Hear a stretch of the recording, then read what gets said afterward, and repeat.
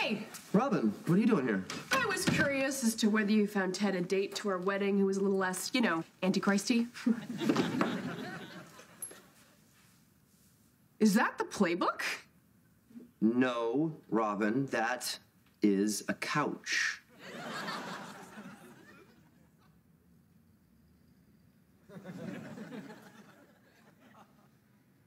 Oh, you mean the playbook on the couch? I can explain. Don't bother. I can. Uh, Ted, uh, I, I gotta step away from mission control for a sec. Don't do anything stupid while I'm gone. Robin.